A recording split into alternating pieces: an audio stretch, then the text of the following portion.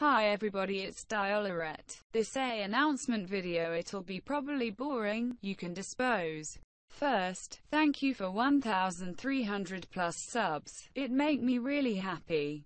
I hope you always like my work.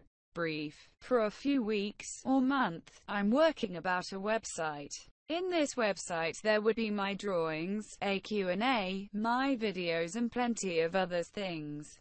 I would like to add your fanits drawings about me and my originals characters. Of course I credit the artists.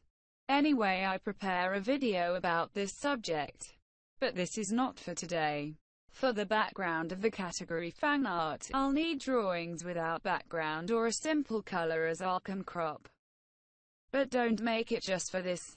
If you have drawings like that, you can send me them. I have an email address and social networks as you can see in the description. Your pseudos will be displayed on a link connected to the website with a thank you message. So thank you, my super subscribers. That's all for the website, let's move to the next fact. That is quite a form of project, if I can say. Each month I'll draw a character in a random fandom and I'll draw it in Arcadia's version. It mean they'll have elf ears, the species can change and the clothes will have my personal touch. But, you choose the character, I'll choose the most selected or the most liked. For the first you have to post comments here. For the next you have to do this in the last Arcadian of the month output.